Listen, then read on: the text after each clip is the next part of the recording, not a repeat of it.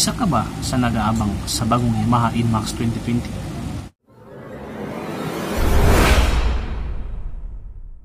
Pwes, nasa tamang channel ka. At panoorin mong video nito hanggang sa dulo. Bakit? Alamin natin kung ano yung pinagkaiba at pinagbago ng Yamaha Inmax 2019 at yung 2020. Bago ang lahat, nais kong pakilala sa inyo, lalong-lalo na sa bago sa channel ko. This is Naxride. Pasal tayo sa mundo ng mga riders at motorsiklo. Pakisuyo naman. Pakipindot yung subscribe button at isama niyo na rin yung notification bell para updated tayo every time na may bago akong video. Bago ang lahat, intro muna tayo mga cries.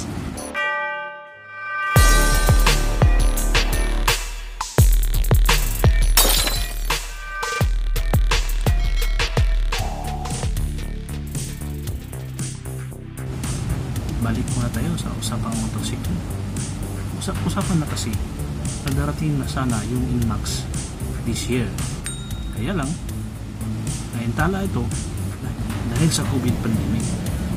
Pero, bago natin titingnan yung Yamaha Inmax 2020 is balikan muna natin yung Yamaha Inmax 2019. Tingnan natin ano yung specification niya. Let's find out kung ano yung pinagkaiba sa dalawa. Okay now, let's start and discuss the engine specification. This is 155cc liquid cooled 4 stroke 4 valves single cylinder single overhead cam with a maximum horsepower of 11.1 kilowatt at 8000 rpm maximum torque 14.4 newton meter at 6000 rpm Vehicle automatic transmission and introducing the Yamaha Blue Core technology and VVE or Variable Valve Actuation na ang ibig sabihin ay in a certain RPM the fuel intake niya ay nag-adjust to strong torque sa mahinang speed at power pero mabilis yung takbo.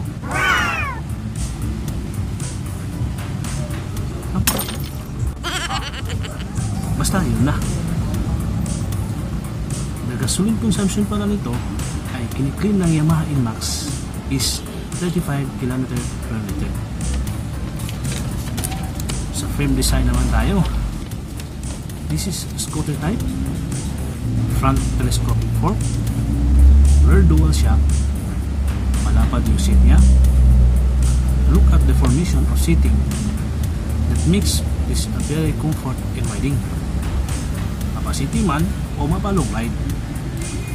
Curb weight is 127 kg. So, yung headlight, tail light, at signal light ay LED na lahat. Yung panel board ay shift circle but digital with the information na lahat na kinakailangan natin. So, andun na sa panel board niya. Braking system from front and rear are already disc brakes. At may ABS siya. Uh, full tank capacity is 6.6 liters. Sa front tire size is 110 by 70 and 13 rim. Sa likod naman is 130 by 17 by 13 and rim. Of course, tubeless na ito lahat mga ka-rides. Ngayon, lahat na nanimension ko tungkol sa engine ng Yamaha Inmax 2019 ay nandun din sa Yamaha Inmax 2020. Pero, ito yung pinagbago at nadagdag sa bagong version. Una, yung design ng headlight, tail light, at signal lights. Bagaman, ito ay LED pa rin lahat.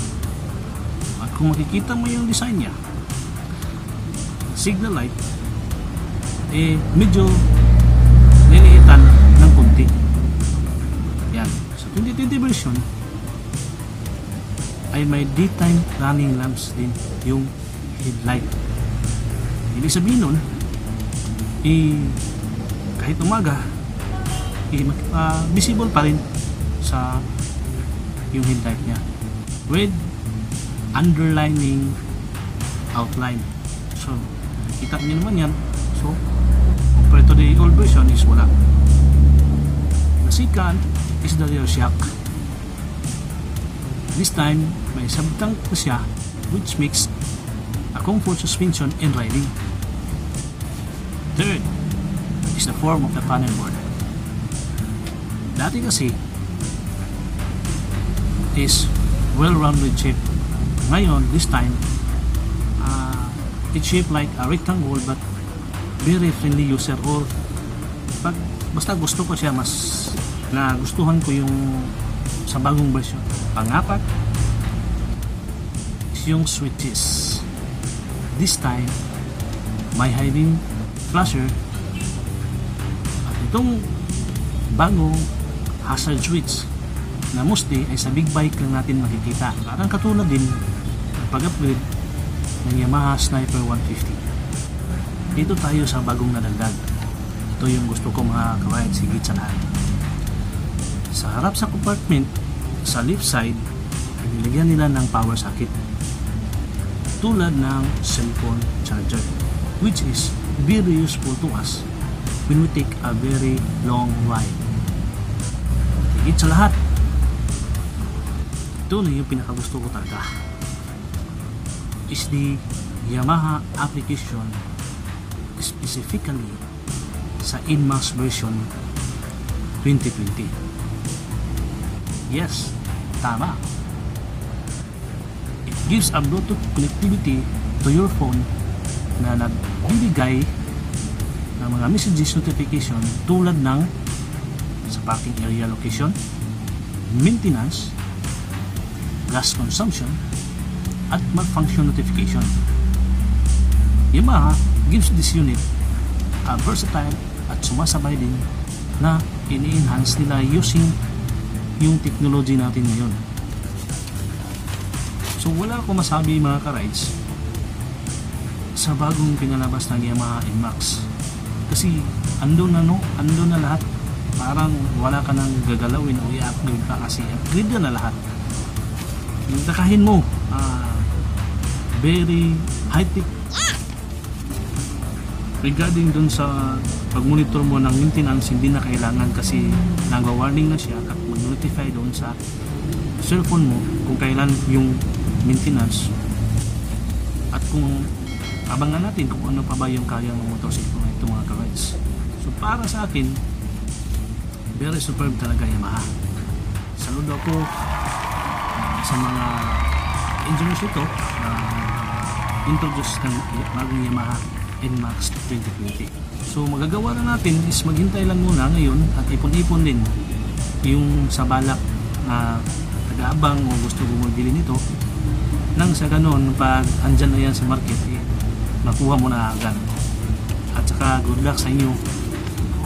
Kasi uh, pati ako na excite na din so pagdating pala sa price nito mga rides uh, hindi ko pa masasabi. Kasi nga I'm sure medyo may kataasan ng presyo nito no?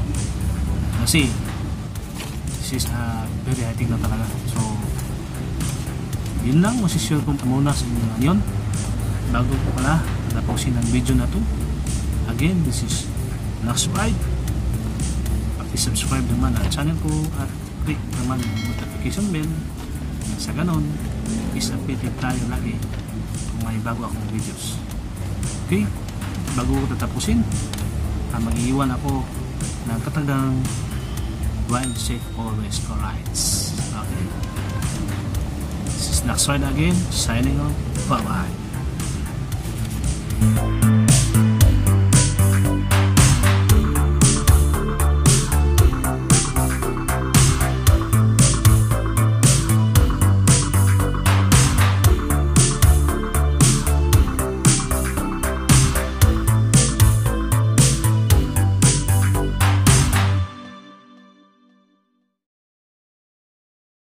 brain dead. Bongo. Let's go.